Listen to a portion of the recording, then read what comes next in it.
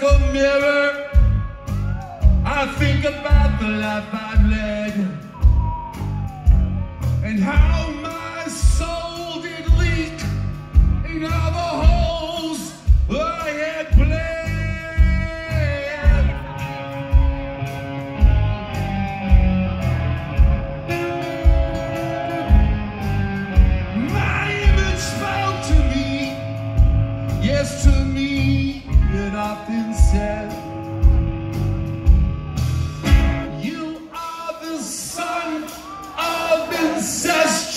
union.